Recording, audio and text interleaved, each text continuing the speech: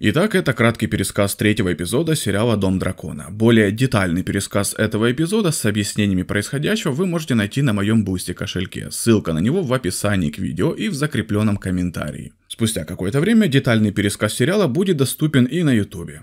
Итак, прошло три года с тех пор, как король Визерис выбрал Алисенту Хайтауэр своей невестой, фактически оттолкнув как Корлиса Велариона, союзника, в котором он отчаянно нуждался, так и свою дочь Рейниру, чья лучшая подруга теперь ее мачеха. Однако Рейнира могла потерять не только друга. Ранее Визарис назвал ее своей наследницей престола после потери жены и новорожденного сына. Это решение, как мы видели, он принял в облаке горя, настолько густом, что даже не рассматривал возможность еще раз жениться или родить сына. Кроме того, его решение также послужило дистанцированию его опасного брата Дэймона. И можно с уверенностью сказать, что вера Визериса в Рейниру, как в следующего правителя Семи Королевств, была построена на шатком фундаменте, особенно сейчас, когда Лисента подарила ему сына, принца Эйгона II. Я думал, что Рейнир – мой выход из бездны горя и сожалений. Что если я ошибся? Не помогает и то, что королевство положительно взволновано возможностью увидеть после Визариса на троне не его дочь, а именно наследника мужского пола. Визарис и его придворные больше заботятся о том, чтобы выдать Рейниру замуж за самого ценного союзника, будто за дерзкого и гордого Джейсона Ланнистера, чей брат-близнец Тиланд является капитаном кораблей Визериса, или Лейнера Вилариона, старшего брата дочери Корлиса Лейны, которую Корлис и Рейнис пытались соединить с Визерисом в прошлом эпизоде. С тех пор, как ты повзрослела, я тону в море пергаментов со всех уголков королевства с предложениями о браке. Я все бы сделал для моей королевы. Или леди жены. Я считаю, что лучшая партия для Рейнира — сын морского змея. Сир Лейнер. Брешь между вашими домами с тех пор не уменьшилась. Это поможет смягчить обиды лорда Корлиса. Реальные или надуманные. Однако Отто Хайтауэр же, очень заинтересованный в восхождении своего внука Эйгона на трон, даже предлагает обручить Рейниру со своим сводным братом. Таким образом, он, естественно, желает утвердить свою власть, что станет возможным, если его внук станет королем после Визериса. Он первый сын короля. Отрицать его право на трон значит попирать законы богов и людей. Ты должна вразумить Визариса. Сам он на это не решится. Однако Рейнира не глупая девушка, потому что она сразу же уловила махинации своего отца, связанные с тем, чтобы выдать ее замуж. Поэтому после встречи с потенциальным женихом Джейсоном Ланнистером, она дает понять, что он ее не интересует. Он заносчив и самонадеян. Думаю, в этом вы схожи. В этом эпизоде у Рейниры и ее отца есть несколько напряженных разговоров, в которых они спорят о необходимости стратегического брака. Визарис говорит дочери, что она должна выйти замуж, чтобы укрепить свое положение и обеспечить преемственность. Но Рейнира быстро указывает отцу, что если бы это было так важно, то он выбрал бы себе в жены Лейну Виларион, а не Алисенту. Чего ты от меня хочешь? Ради выгоды ты должен был жениться на Лейне Виларион.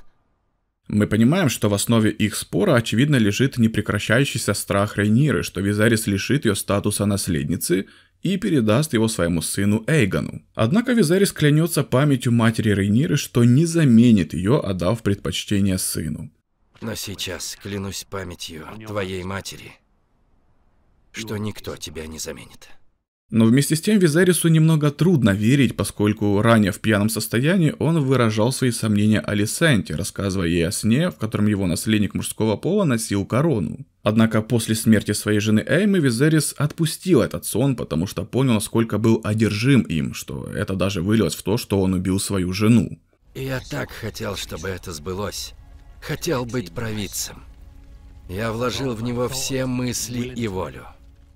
И все же теперь, затуманенный вином, Визарис задается вопросом, а может быть его сон все-таки сбывается, раз у него родился сын. То есть мы снова видим нерешительного Визариса. Он знает, что его считают слабым правителем. А когда Джейсон Ланнистер упоминает, что многие предполагали, что Эйгон сменит Рейниру в качестве наследника, у короля появилась паранойя, и он даже стал угрожать наказанием тем, кто сомневается в его выборе Рейниры. Как будущей наследницы. Но на самом деле это скудная демонстрация силы, все, на что сейчас способен король. А на следующее утро при трезвом свете дня похмельный Визерис снова обнаруживает, что его сомнения исчезли. За последнее время он не раз слышал от своих людей о белом олене, который живет в этих лесах и который, по их словам, может служить знаком благосклонности к маленькому сыну Визериса Эйгану. Король-олень в королевском лесу, ваша милость, благое знамение для именин принца Эйгона. Поэтому сторонники Эйгона надеялись, что присутствие белого оленя послужит своего рода сигналом, который подтолкнет Визериса к тому, чтобы назначить своего сына преемником. Но вместо белого оленя Визерис безрадостно убивает лишь обычного беспомощного оленя. И скорее всего Визерис понимает, что раз ему не явился белый олень, а явился обычный олень, значит боги они хотят сохранить именно за Рейнирой железный трон, а не за его сыном Эйгоном. Ну а тем временем, заколов дикого кабана, напавшего на них ночью, Рейнира и Кристан Коль возвращаются в лагерь. Однако перед этим они встретились лицом к лицу с тем самым белым оленем, на которого Рейнира не охотилась, а который нашел ее сам, что может указать на то, что боги указывают именно на нее, как на наследницу Железного Трона. Тем временем война Корлиса и Дэймона против Триархии и Кормильца Крабов обернулась катастрофой. Эпизод начинается с того, что Дэймон и Караксис извергают огонь на людей Кормильца Крабов, но вместе с тем становится понятно, что дракон может нанести не так уж и много урона.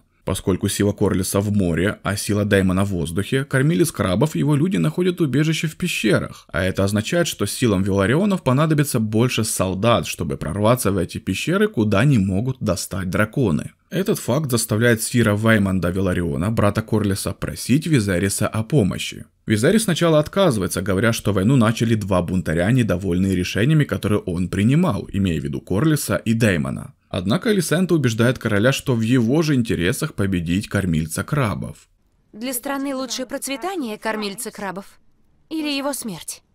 Поэтому через письмо Визарис сообщает, что отправил своих людей на помощь Дэймону и Веларионам. Однако, когда Дэймон узнает об этом, он яростно злится на посланника, потому что гордому Дэймону не нужна помощь Визариса, как бы сильно они ни проигрывали. Поэтому он решает самостоятельно, без дракона в небе, без солдат за спиной и с белым флагом направиться на территорию кормильца крабов, словно готовый сдаться. Однако сдаться это последнее, о чем он думает, поскольку демон отказывается от белого флага в пользу своего оружия, используя его, чтобы прорезать себе путь к своему врагу. И когда раненого принца уже окружили со всех сторон, и когда кажется, что у него выхода больше нет, внезапно с неба жарит струя пламени, испепеляя солдат Триархии. Хотел Даймон помощи или нет, но его союзники решили, что принц не сможет в одиночку победить. Корлис Виларион ведет своих людей на поле боя, а Лейнар на своем драконе Морской Туман, пользуясь возможностью, которую ему дал Даймон, разбирается с врагами огнем. В это время ужасной бойни Даймон преследует кормильца крабов до его укрытия, а потом через мгновение появляется весь в крови и волоча отрубленный торс Драхара. Так что получается, что Даймон одержал победу и без помощи своего брата Визериса.